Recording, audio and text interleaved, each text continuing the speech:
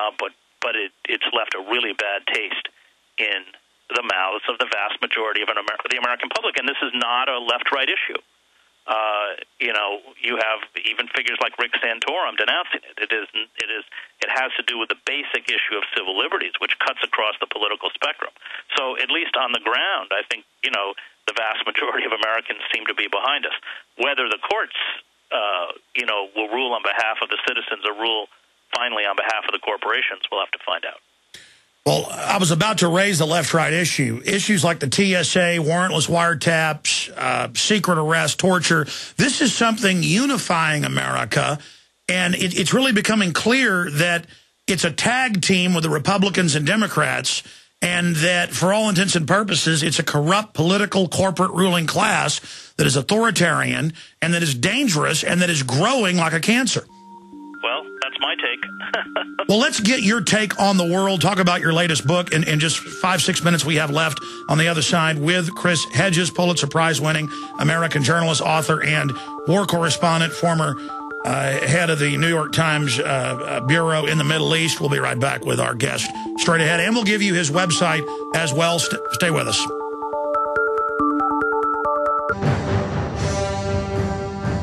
Monday through Friday from 11 a.m. to 2 p.m. Central. We're here live. I come back live Sundays, 4 to 6 p.m. We also have InfoWars Nightly News at InfoWarsNews.com that we've been beta testing the last five months for television that PrisonPlanet.tv viewers can watch. We have a 15-day free trial subscription running right there. And then, of course, those of you that support the site, you're basically paying for it for everybody else, which is great. We then put it on YouTube and everywhere else a few days later, and it gets millions of views every week, and it's only five months.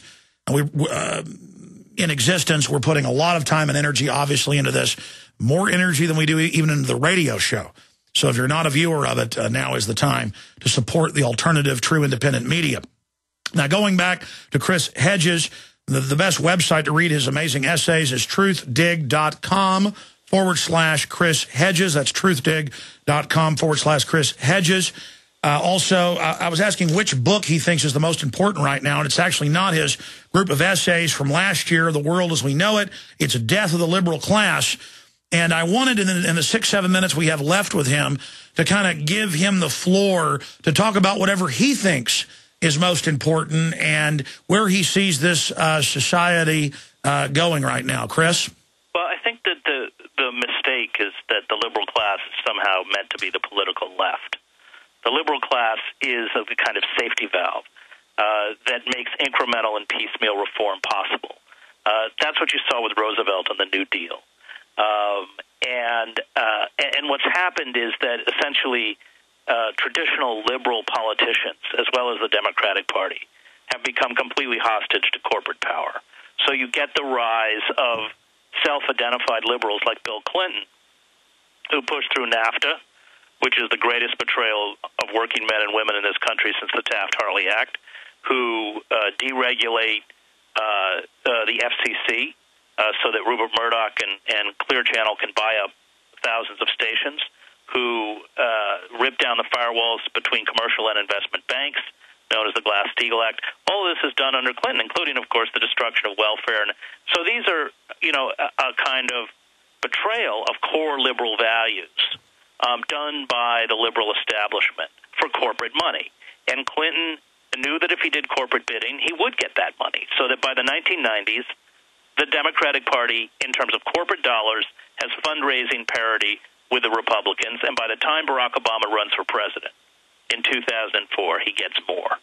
Um, and that is the issue.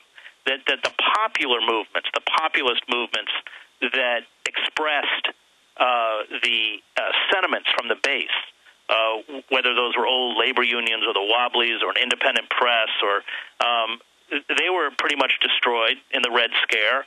Um, and you just mentioned the attacks against Ron Paul in the name of sort of being soft on terrorism, or I, I think you even said that he was accused of being, uh, you know, a terrorist himself. I mean, that's what they would have done 50 years ago to discredit him. They would have they would have said he's soft on communism.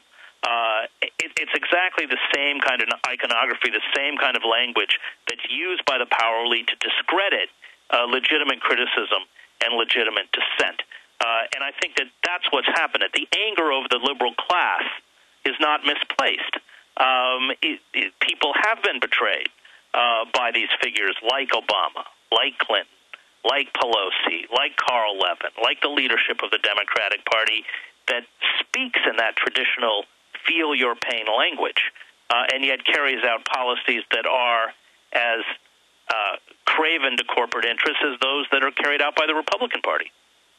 Well, looking at these big corporate interests, I mean, we see people like the head of MF Global making 40 to 1 bets with other people's money. Uh, Corzine gets caught lying in Congress. Uh, you know, the, the, the head of the Chicago Mercantile Exchange says, no, we were there. He knew. Of course he gave the order to take the private accounts. And no one gets in trouble. I mean, there's a new level of of of just getting away with everything. And when you learn that this corporate insider crony capitalist class is running things and and and and and, and are so hubris filled, or maybe it's not hubrism, maybe they are godlike now because of corruption and, and, and because of the public's weakness or whatever, that they can make 40 to 1 bets. I mean, that shows that these people are insane. Well, look at Goldman Sachs. They're bailed out with taxpayer money and then they're given virtually interest-free loans uh, to to gamble. I mean, you sort of can't lose. I don't know what to call it. It's not capitalism. Uh, and, and there's been no uh, punishment uh, except for Bernie Madoff, and that's because he stole from rich people. Yeah, yeah. Uh, there, nobody gets punished. I mean, these people are all back doing what they were doing before, except now they're doing it with our money and at a higher level. You're right, derivatives are... What about people like Cass Sunstein openly putting out papers saying, we'll arrest people we disagree with, but first we'll just have takedown orders of their sites on the web, and then we see that in SOPA. I mean, the, you know, the thing is, they're so honest about their authoritarianism, and then the, we get criticized for, for being gloom and doomers. Yeah, well, they are rather amazingly honest about it because they think they're untouchable.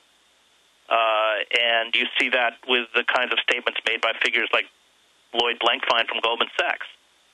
God's uh, work. They they own they own the process.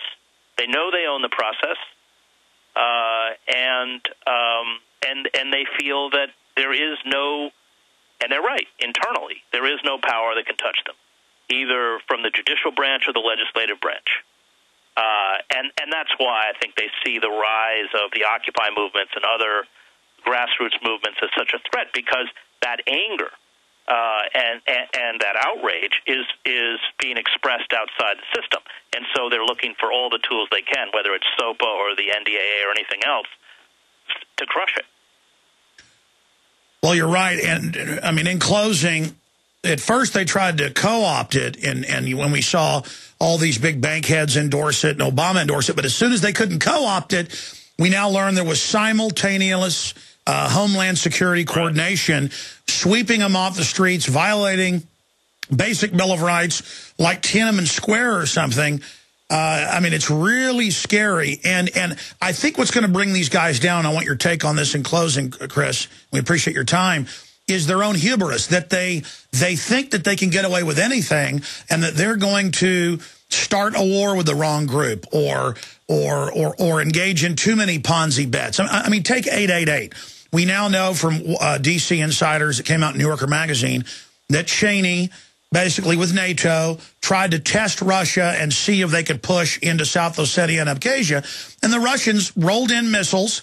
Their, their chairman of their Joint Chiefs of Staff, it was on European TV, but not here, because we're kept in the dark, and said, okay, we're going to use nuclear weapons on the NATO forces landing in southern Georgia. And the United States and NATO blinked and pulled back. But it shows that if we're being run by a bunch of craven old men with bionic hearts uh, who are so so unstable that they would mess with Russia just to see what would happen. I mean, the, the, I think we're all in, in just incredible danger of cataclysms because of these people. Yeah, I think it's a corrupt and pretty rotten elite, which is probably more fragile than we suspect. I think you're right to point out the closure of the 18 encampments, all done uh, simultaneously and coordinated, because that exposed what they have to offer, which is essentially force. Uh, instead of responding to the legitimate demands that push people into those encampments, they try to physically erase them. Uh, and uh, instead of addressing the foreclosures and bank repossessions, the massive unemployment, the staggering student debt, um, they think they can wipe these encampments and, and the problem will go away. And I think that's a window into how calcified and out of touch they are. Yeah, and instead, it's probably going to cause a violent revolution, which, which, which, as you know, usually doesn't go too well in history, and I, I want to try to avoid. Is there any way, in your view, to navigate out of this? Well, you know, I've spent a lot of time with the Occupy movement because, as a somebody who spent 20 years as a war correspondent, I know the poison of violence. I know what it does. Uh, you know, even when it's used in a ostensibly just cause. Um, I I think that um, we we have to push as hard as we can. I think the state will push back. They clearly already are pushing back. Um, but when legitimate forms of dissent are crushed, uh, you're right. You, you know that you inevitably get a violent response. I hope we don't get there.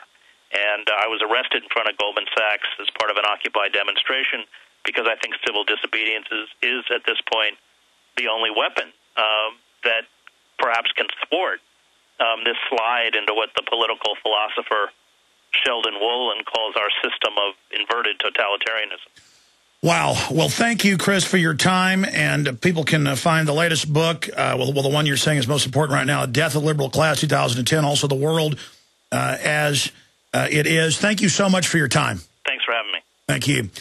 Well, he certainly got a lot of courage. He is suing uh, Obama for NDAA. And again, the, the system always tries to make it either or, and it's in that nuance that people get confused. The system knew that there were all these people disenfranchised. In fact, what was it, 15 suicides or something in the last three days in Morocco? People setting themselves on fire because there's millions of people who can't get jobs?